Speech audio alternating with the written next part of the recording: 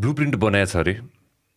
प्रधानमन्त्री भनौँ न प्रधानमन्त्री भएपछि यो यो कुरा चाहिँ म जसरी भए पनि मेरो पाँच वर्षमा म गर गर्छु भनेर चाहिँ एउटा ब्लु प्रिन्ट चाहिँ एउटा बनाएछ अरे।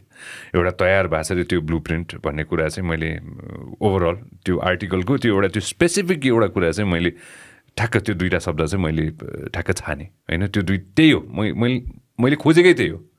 त्यो दुईवटा शब्द। होइन? त्यो दुईवटा शब्दबाट त्यो ब्लु प्रिन्ट भन्ने मैले एउटा अङ्ग्रेजीमा बनाएँ त्यसलाई होइन? त्यो ब्लु प्रिन्ट के हो र त्यो ब्लु प्रिन्ट के हो र त्यो ब्लु प्रिन्ट हामीले त्यो ब्लु प्रिन्ट देख्न पाउँछौँ?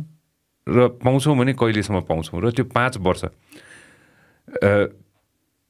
सबै त्यो पाँच वर्ष पुराको पुरा पाइन्छ कि पाइँदैन होइन? र हजुरले भन्नु अगाडि म एउटा इक्जाम्पल दिन्छु। अस्ति भर्खर ब्राजिलमा लुलाले जितेका छन् होइन? लुलाले अस्ति भर्खर जितिसकेपछि उहाँ मैले कुनै के अरे लिडरले त्यसरी त्यो रोको मैले देखाएको थिएन होइन? लुलाले रुँदै भने कि म मेरो देशको जनताको आर्थिक स्तर बढाउँछु मेरो पाँच वर्षमा। मेरो कार्यकालमा म मेरो जनताको आर्थिक स्तर बढाउँछु भनेर चाहिँ लुलाले रुँदै भनेका थिए। केही केही दिन अगाडिको कुरा मात्र होइन?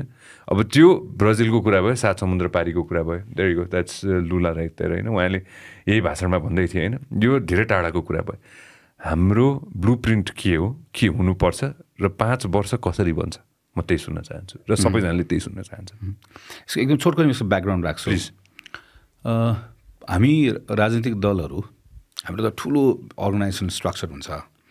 लाखौँ मान्छे मेम्बर हुन्छ। पार्टीको तल तल युनिटहरू काम गरिरहेको हुन्छ। सबैतिर विभिन्न तहमा काम गरिरहेको हुन्छ। सबै तहमा काम गरिरहेकोहरूले दिनरात कामको एउटा त्यसको पछाडिको चाहिँ उद्देश्य के हुन्छ भने नयाँ मेम्बर्सहरू पार्टीमा ल्याउन खोज्छ। अथवा आफ्नो भोटरको बेस बढाउन खोज्छ। किन? केही समयपछि इलेक्सन आउँछ। त्यो पिरियडिक इलेक्सनमा इलेक्सन जित्नुपर्छ। नेपालको मात्र होइन जहाँको पनि पोलिटिकल पार्टीले गरिराख्ने कुरा यही भयो। ठिक छ इलेक्सन जित्नेसम्म भयो। अनि इलेक्सन जितिसकेपछि के हुन्छ? सरकार बन्छ। त्यो पनि भयो। सरकार बनिसके पछाडि अब त्यहाँबाट स्टार्ट गरौँ। सरकार बनेपछि के गर्ने? त्यो सरकारको नेतृत्व गर्ने सोचिरहेको मानिसलाई के लागिरहेको हुँदो रहेछ भने तिनवटा कुरा गलत लागेको हुँदो रहेछ। एउटा मसँग असीमित शक्ति छ। होइन? भन्ने लागेको हुँदो रहेछ। मसँग यति पावर छ कि मैले जे पनि गर्न सक्छु भन्ने लागेको हुँदो रहेछ। अर्को के लागेको हुँदो रहेछ भने मसँग चाहिँ असीमित स्रोत छ। रिसोर्सेस। अनलिमिटेड छ। लागेको हुन्छ। अर्को के लागेको हुन्छ भने मसँग असीमित समय छ।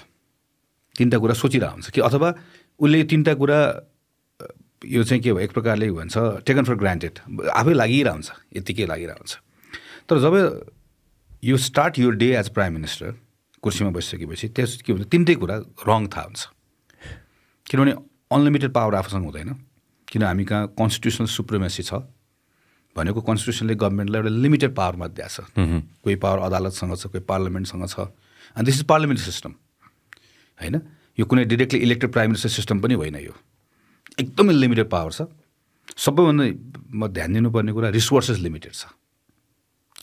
म यसपालि अलिकति बढी एजुकेसनमा काम गर्छु भन्न साथै हेल्थको बजेट कटौती गर्नु पऱ्यो है एउटा सानो कुरा इक्जाम्पल अर्को भनेको एकदमै लिमिटेड टाइम छ इट्स जस्ट फाइभ इयर्स अब यो तिनवटा कुराभित्र लिमिटेड रिसोर्सेस लिमिटेड टाइम र एउटा लिमिटेड पावर र अर्को फोर्थ कुरा पनि छ।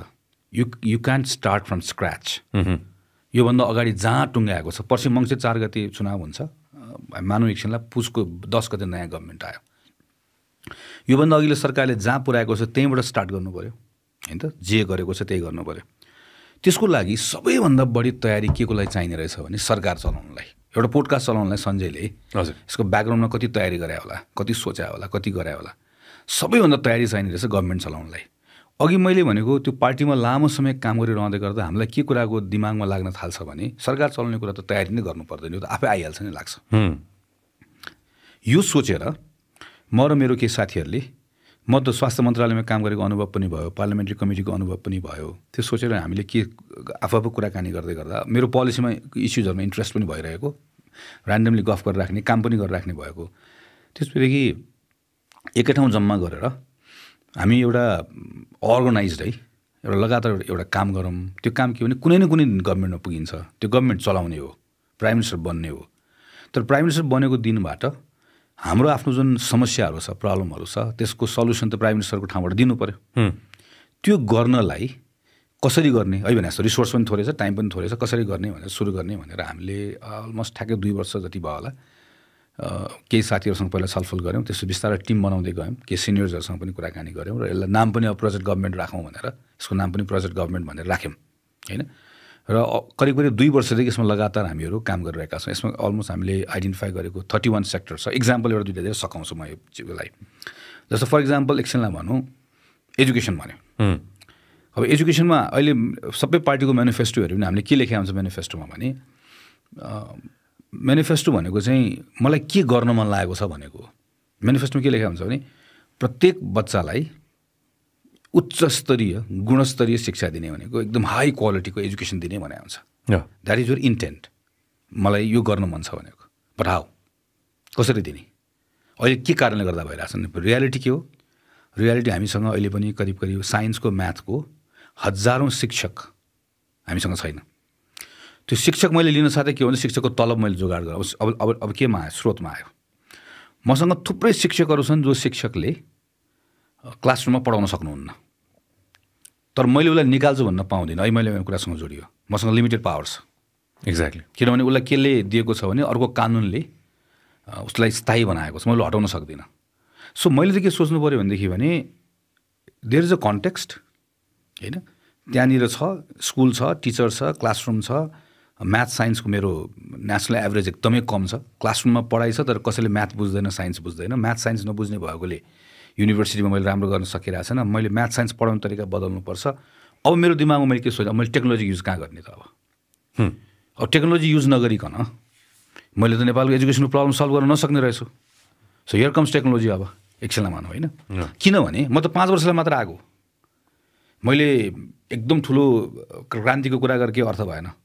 पाँच वर्षभित्र क्लासरुममा म्याथ साइन्स पढाउने तरिका बदल्नुहुन्छ। शिक्षक नयाँ राखौँ। धेरै पैसा छैन होइन? पुरानो शिक्षक निकालौँ कानुनले दिँदैन। सो मसँग विकल्प के छ? मसँग टेक्नोलोजी छ। सो म टेक्नोलोजीको प्रयोग कसरी गर्छु क्लासरुममा? एकछिनलाई मैले भनौँ। अब मेरो टिमले त्यसमा काम गर्ने भयो। अब म एज अ प्रधानमन्त्री कुर्सीमा बस्दै गर्दा मलाई नेपालको प्रब्लम क्लासरुमको प्रब्लम के छ मलाई? पहिले थाहा छ। त्यसको एउटा सानो इक्जाम्पल त्यसको हल कसरी गर्ने? उपाय मैले खोजेको छु। चाहिने रिसोर्स कसरी जुटाउने सोचेको छु। भनेर भन्यो भने पो अब म काम गर्ने भएँ। तर म यो तयारी के पनि गरिनँ र म कुर्सीमा बसेँ भने मलाई त मन्त्रालयले सधैँ गरिरहेको काम आएर मलाई भन्ने भयो। अनि म जे गरिरहेको छु त्यही गर्ने भएँ। पाँच वर्ष म त्यही गरेर निस्कने भएँ। यसरी सेक्टोरल हिसाबले education health infrastructure energy tourism economy tax सबै थर्टी वान सेक्टर्स आइडेन्टिफाई गरेर प्रत्येक सेक्टरको यस्तो जस्तो हामीले हेल्थमा ब्लक चेनसम्मको कुराकानी राख्नु राखेर टिमको साथीले काम गरिरहेको छ होइन? कसरी युज गर्न सकिन्छ यसमा भनेर। सो यसरी माइन्युट डिटेल्समा काम गरेको यो खास है? कतिजनाले यसलाई जस्तो यो एकदमै बरु टेक्निकल कुरामा गयो पोलिटिकल भनेर भन्नुहुन्छ होइन? पोलिटिकल कुरा चाहिँ जस्तो गाइडिङ कुरा के हो भने जस्तो म पब्लिक एजुकेसन सिस्टम बलियो हुनुपर्छ भन्ने मेरो मेरो पोलिटिकल लाइन हो।